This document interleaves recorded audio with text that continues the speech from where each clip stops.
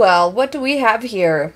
Hey everybody, I'm Beebs Kelley, and I, like the rest of you, saw this staged pap shot the other day and had to make a video about it.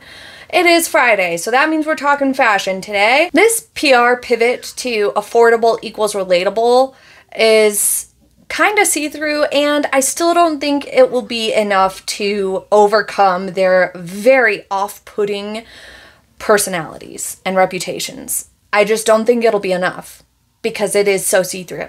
I thought salt and pepper always stick together, right, Meghan?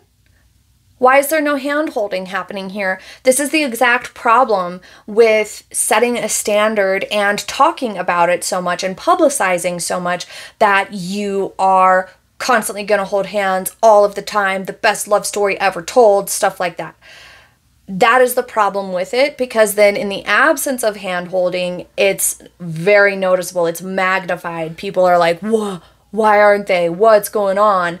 Or think that's more evidence of trouble in paradise. And so, compared to more normal couples who perhaps hold hands only at times that it makes sense or just less dramatic, they don't talk about it, they just do what feels right in the moment and they don't hold hands or smother each other with PDA at times that it's not appropriate. Those more like normal types of dynamics are smarter when it comes to a PR perspective because then sometimes you're going to see these people holding hands, sometimes you're not. But Meghan Markle and Prince Harry set up this expectation that they were going to be always holding hands, even when it didn't make sense, even when it wasn't professional, even if it looked bad, even if it was rude. They were going to always be holding hands. And then publicized this salt and pepper are always together and a palm trees intertwined. They did so much of that. It was overkill that now people are looking at this as like, why weren't they at a time where it makes sense? When you're at a restaurant on a casual evening, at a casual dinner, at a casual spot with friends, just happen to get papped, then why aren't you holding hands then? Was it all an act before? Like it raises more questions in terms of making them look worse than it does, even though it's kind of refreshing to see them not holding hands all the time because that was so juvenile and annoying. We were so over it. So if this were just in a professional setting, it would be refreshing. It would be like, finally, maybe they matured in their 40s to not hold hands like teenagers. But instead, it's it's turned things around on them, which is their own doing, like most things. But on to the dress.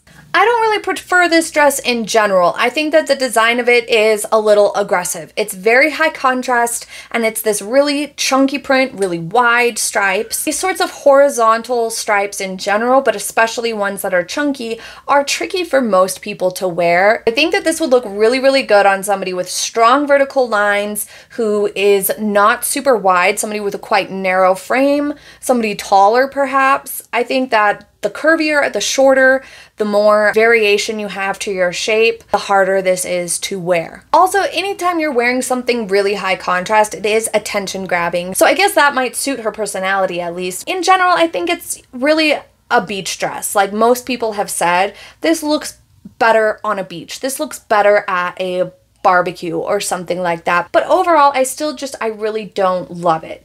Now, it's clear that she wasn't necessarily wearing any sort of like shapewear. I still think, even though you can't see it real good, that she was probably wearing a bad bra under there. But that doesn't really matter because she was in a casual setting. So we're going to just give those things a pass because if we're out to a re- relatively average priced dinner, then it doesn't matter you wouldn't wear those all those things either to a normal dinner. And yes, the prices might seem a little high to some, but for the area, that would be considered a more affordable dinner place.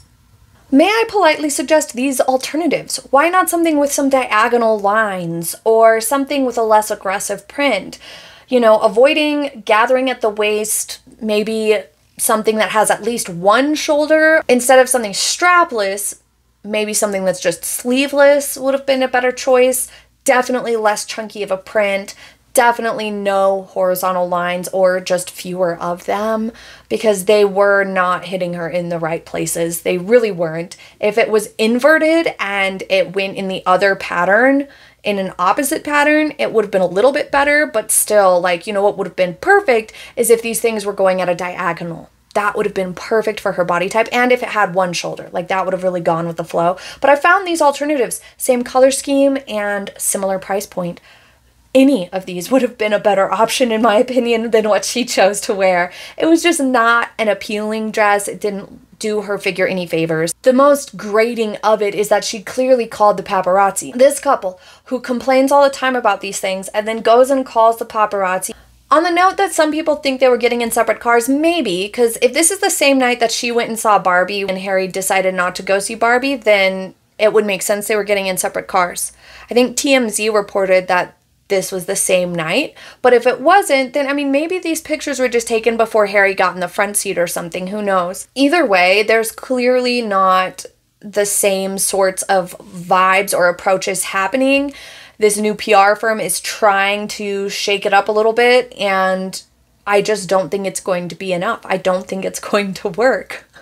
What do you guys think about this outfit? So, another thing we see happening here is these magazines and these um, news publications or articles that come out about these pap shots or anything really will have a section where a supposed fashion editor or just somebody at a desk whose job is to do this will leave this sort of a glowing little excerpt about whatever the celebrity or the person in question is wearing, and then they give you some suggestions or tell you where to buy it. Now, the publications do this because they earn commission off of the clicks. So anybody who clicks that and goes and shops at that store, the company, so in this case it's the Daily Mail, they will get commission off of that. They make a little bit of cash off of that. And so they're going to say that the outfits are spectacular no matter what because they're trying to stir up a bit of revenue for themselves. It, it, doesn't mean that the outfit was actually great. So in this case, it reads Meghan Markle, caught celebrating her birthday in California, proves she's just like everyone else. That is, the Duchess is rocking her best summer dresses. Is that her best summer dress? Oh. We're talking about the black and white, wide striped, strapless number. That alone is like a red flag when it comes to an article of clothing for most people. She wore for the occasion, and we just have to get our hands on it. Oh, please don't.